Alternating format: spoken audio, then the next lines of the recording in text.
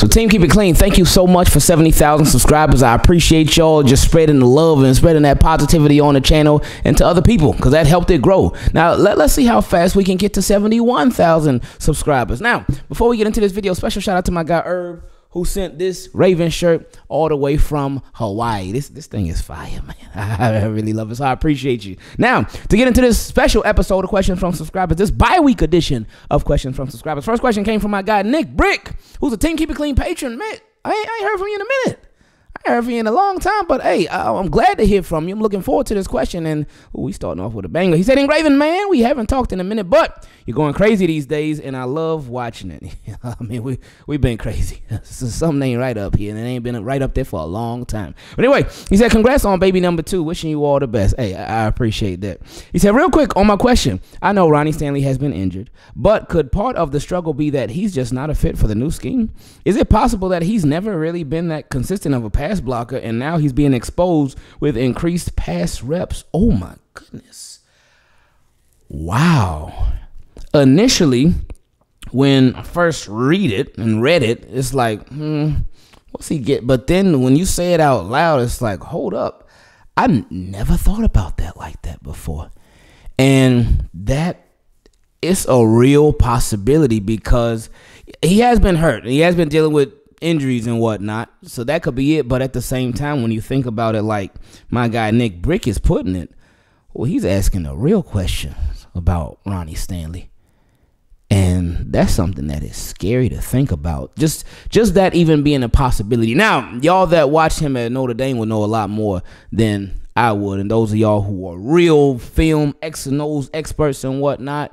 But again, I, I, have said it a couple days ago. Like to see that Ronnie Stanley is struggling, you ain't even got to be no X and O's expert. Yeah, you ain't got to be no super film guy, nothing like that. Like you, you can see it. You can see it. Uh, us casuals, we, we we could see it that Ronnie Stanley, he's struggling big time. And and we've talked about this throughout the season. There've been these moments, like especially in these clutch moments. When Lamar, people say, "Oh man, Lamar fumbled, he fumbled, he fumbled." Yeah, the fumbles they go on him. But not all of them are Lamar Jackson's fault. And we've seen plenty of time where Ronnie Stanley, a lot of he'll get pushed right back into Lamar. Like there was one play. Oh, I forgot what game it was, but there's a Ronnie Stanley been getting pushed back all year. But there was one play where I thought like when I saw the highlight of the play, initially I thought I'm like, man, what's Lamar doing? He just playing around because he had he was throwing a pass. I think it was a touchdown pass that he threw. I want to say to Mark Andrews, I think. But anyway, he threw a touchdown pass. It was in the red zone. He threw the pass, but when he threw the pass, he like kicked his left leg up. And I'm like, what does this dude do? Why would he kick his leg up like that? I'm like, man, he, this dude played too much. Lamar Jackson be playing too much. But then after watching that same highlight over and over and over and over and over again, and somebody had pointed it out because I had put it on Twitter, but somebody pointed it out they were like, the reason that he kicked his leg up like that, he wasn't playing. He was trying to avoid Ronnie Stanley running into it or getting pushed back into it. Because Ronnie Stanley on that play, he was getting pushed back and he went right to Lamar's leg. So Lamar, while he's throwing the ball, and it was accurate pass too. While he's throwing the ball, he, he throws the and, and he kicks his left leg up at the same time. I'm like, man, I don't know how he did that. He is Houdini. That that was one of them plays like that. Where it was just something crazy. But yeah, man, I I I don't know what it is with Ronnie Stanley. It it it just it's been bad, man. And, and things things have just ever since that injury, man things have never been the same. But you do make a really good point, and that is a really, really good question. Because yeah, Raven scheme has definitely changed. I know a lot of people said the same thing about uh, Orlando Brown Jr. They were like, "Oh, when he goes to the Chiefs, they're gonna be passing more, so he ain't that good." But I, at the same time, I'm like, I know how Ravens fans are. Really, fans of any team, they do that. Like when when a player goes to another team, especially the way that he went to another team.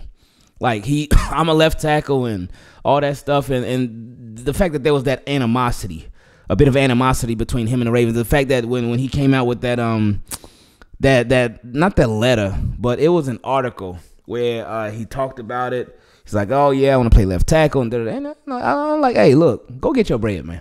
I, I, I will never have a problem with a player getting their money." He gave all these different reasons for why he felt like he was a left tackle, wanted to be a left tackle. He said he wanted to honor his father. And, uh, okay, I respect that.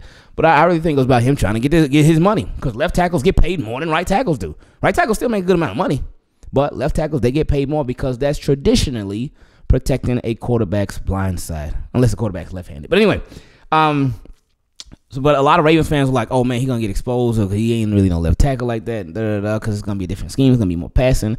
Because uh, they always talk about how a, a run heavy scheme, and Ravens still are run heavy scheme, but they have implemented a lot more passing. But they always talk about how a run heavy scheme is a an offensive lineman's dream because you're just downfield blocking. That's it, just downfield blocking. But you got to think about it too as an offensive lineman, it's a much harder game, uh, passing game versus the run game because run game, you just downfield blocking. Go find somebody, lay them out.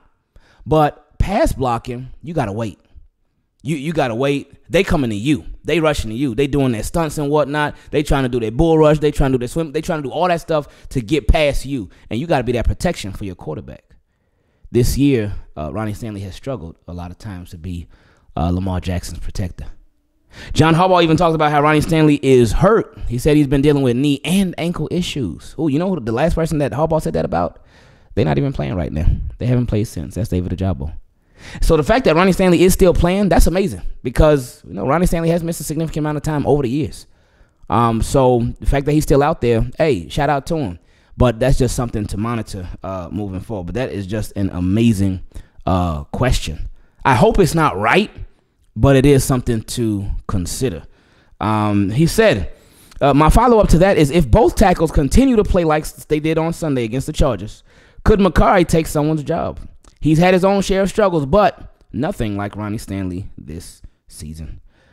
That's another really good man. What? Why you got to start off so fire like this? Oh man, like we didn't even get to the, the second, third question tonight. You starting off like this? Calm down, Nick. Relax. But anyway, um, that's I mean that's what he's there for. Pat Mekari is the ultimate stay ready so you ain't got to get ready player because he can literally play all five positions on the offensive line. He has played all five positions on the offensive line, all of them. Um, and he's a, an excellent fill-in, and he's somebody that can start and has started and has plenty of starting experience due to injuries. But again, that's what you're the sixth man for. That's what the sixth man come off in the bench, coming coming off the bench in basketball too. You are there to to just be ready, stay ready, so you ain't got to get ready. So that is a real possibility too. Pat Mekari coming, but can he take somebody's job? I don't see Ravens benching Ronnie Stanley. Um, I don't see them. The, the only the only way I see Pat Mekari starting over Ronnie Stanley would, would just be if they Ronnie Stanley ended up getting hurt, and they put him on IR or getting hurt even more, and they put him on IR or something like that. I, I don't see them having Ronnie Stanley on the bench. I, I just don't see that. Morgan Moses. I mean, mm, that, that's a really tough question. it's, it's like, man, he got me stumped, man. Um, ah, it would just have to be all out kinds of bad, man for them to do that. Like, I mean, it has been good, but it would it would just have to be like tragic to where like they just getting dogged all day, every day. I know there's gonna be somebody that said, "Well, hey, they do get dogged all day, every day," but um, so no, I'm I'm I'm, I'm, gonna say they keep Pat Mekari on the bench for now. Um, I I don't foresee him taking one of their spots, especially uh, Ronnie Stanley though. And he said, from my view, the Ronnie situation is really, really bad. He was getting beat so bad the chippers couldn't even get a piece of the rusher. Oh my goodness. Mm. That's tough, man. And yeah, they think about this too. How crazy that game was, how uh, just tough that game was against the Chargers. And they didn't even have Joey Bosa.